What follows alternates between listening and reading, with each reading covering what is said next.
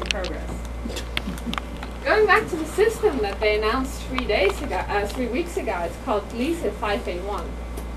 It's a very interesting system. They actually found three planets. The innermost one is huge. It's Jupiter-like. But then we have two rocky planets. So we have this planet that they announced habitable. That's um, the innermost planet. That's about five Earth masses. And then we have one that's out here that's about eight Earth masses, so much bigger. And coming back to the question of the gentleman here, it is very, very easy to make a mistake. Because what they were saying is that this planet, the C, the innermost one, is habitable. And it turns out, through our research, and we haven't published it yet, but we are sending this in next week, actually, Monday, this one is too hot. So even if Walmart apparently thought it was a good idea to go there, this one is going to be above the boiling point of water. So if I were you and you wanted to go on a trip, I'd really not go to this one. I'd go to the one that's further out there. And so we're coming back to the system of the Goldilocks zone. What I show you here is um, that's the height in the atmosphere, so from 0 to 60 kilometers. And this is temperatures in degrees Celsius. Um, I apologize that it is Celsius and not Fahrenheit.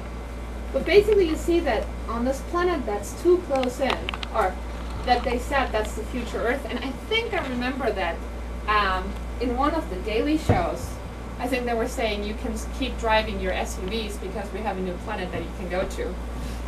Don't keep driving the SUVs because that planet kind of sucks if you get there. It's worse than ours. You don't want to do that. But the outermost one might be. But here you have like about 370 Celsius. That's above the boiling point of water. Don't go there. Don't get your chips to go there. Um, so if you have the other planet, well, now I come to another tricky point. The planet is very close to its star, right? If a planet is very close to its star, what happens is the same thing that happened to our moon. We only see the same face the whole time. We never see it, we never see it rotate. The thing that faces us, always the same size. And that's what happens to a planet if it's that close to its star. So the funny thing is now you can actually have a look what that does to the atmosphere of a planet. A, we've taken into account that it's bigger, so it actually can retain the atmosphere. It doesn't boil off that easily, as uh, the gentleman mentioned. But the other thing that also happens is that you have two sites to consider. You have to consider the site that's always getting sunlight, and you have to consider the site that never gets sunlight, like on our moon. And if it has an Earth-like atmosphere, that's actually a fun game to play. Because you see on the day side, you actually get about uh, freezing temperature, about room temperature actually. So on the day side, it's nice and warm and palmy, while on the night side, it's really, really cold. So what we found is that if the planet was not tidally locked, so if it would be nicely rotating, the whole planet would be too cold for life. It would be about minus 25 C, minus 40 C. But because it's tidally locked, because it's so close to its star, that actually gets it out of this problem. And on the sunny side, it could actually be a nice vacation spot. I'm not promising anything because we haven't gotten any photos from the planet yet, but it looks very, very promising. And then the other part I wanted to mention, what about how does our Earth actually, how did it look like over its evolution? And here I got an artist's impression because we had a press conference on this last week, last year. And the funny thing is, it seemed to be that if you get something from the American university, it's always America. Like if you look back in time, it's always going to be America. And honestly, I think last time I was there, uh, there weren't so many peaks in Monument Valley, but that could have been my misinterpretation. But basically, the question was, what time is it there? If we find a planet, can we say anything about whether it's as evolved as we are, whether it's bacteria there? And in our planet, we bas- we kind of know what the evolution was. In the beginning, there was a lot of carbon dioxide. Then there was bacteria that produced methane, so we had another greenhouse gas. Then there was bacteria who actually produced oxygen, killed off the methane bacteria, so methane went down in concentration in our atmosphere. And so oxygen started to rise and carbon dioxide came down. And here this is where we are now. So if we keep driving the SUVs, we're probably doing this. If we stop keep driving the SUVs, we're probably nice in the palmy environment. Lisa, Yes. when you asked earlier, can we tell the difference between a planet with bacteria and one with dinosaurs? If you have higher life forms, more abundant life forms, do you see a measurable difference in methane? Um, do you say higher life forms like us or bacteria? Dinosaurs compared to bacteria, because there's gonna be bacteria on the same planet that dinosaurs are on.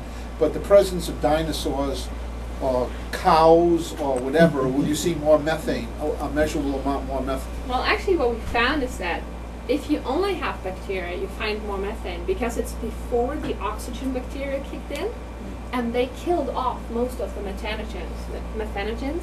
So they killed off most of the bacteria that actually produced methane. So if we have a high methane, what we think we look at is a slush ball, basically an Earth that only is covered with bacteria, that has not had bacteria that produce oxygen yet. So there's a lot of methane bacteria. I'll show you this in a second how it looks like. Actually, uh, Earth has a lot more methane locked up. I would, A lot of it's in the ocean. yeah. It's So- dangerous One of the other problems you have, I said that methane is a very nice indication for bacteria. But methane is not what we call a biomarker. Because methane can easily be produced by abiotic processes. It's locked up in the Earth's mantle. So it can be just released from the planet. Methane itself is not an indicator that there's biological life. But if you have methane with oxygen, these two gases react with each other very, very fast. That tells you that you have something that produces oxygen in huge amount. And if that's happening, that's what we think life has to do. We don't know of an abiotical, non-biological system that actually does that. But so, translating this change in our atmosphere into a spectrum, what we what we had a look at is like, can you tell the difference? And it turns out you actually can. In our Earth's atmosphere, you have about six different epochs that you can distinguish if you just have the light of this planet. So this is when Earth was really old. You had a lot of CO2. You have some some water, but no oxygen, and you don't see any methane yet. Here again, you see that there's now starting to be a feature. There's something missing that indicates CH4. Here, that's about 2 billion years ago. You see a lot of things missing that indicate that there's CH4 methane in the atmosphere. And then about 2 billion years ago, half of Earth's lifetime, you see something is missing in the spectrum that indicates oxygen and ozone. And then the oxygen bacteria basically won out. The oxygen feature becomes much stronger. The CH4 feature goes away. And this is nowadays. This is our spectral fingerprint if anybody looks at us. And this is our spectral fingerprints when we were really, really young, when Earth just formed. You can do the same in the heat and the emitted light. And again, you see in the beginning, when Earth was really old, just formed, uh, really young, sorry, just formed, you see only CO2 and not much more features. About 2 billion years ago, you see that ozone shows up, and you also see methane showing up. And then, current day atmosphere, you see ozone, CO2, and water. So in these stages, where you see methane but no oxygen, we would say that this is now a methane bacteria world, where no oxygen bacteria has won out yet. This is where oxygen starts to win out. We still have a lot of methane bacteria, and then the oxygen starts to kill off the methane side. And nowadays, we have a small little feature here, but it's going to be very difficult to detect. So by having a look at the spectral fingerprint, we should be able to say whether or not there's a slush ball and there's like bacteria producing methane, or whether or not it's the dinosaurs or us. Because between us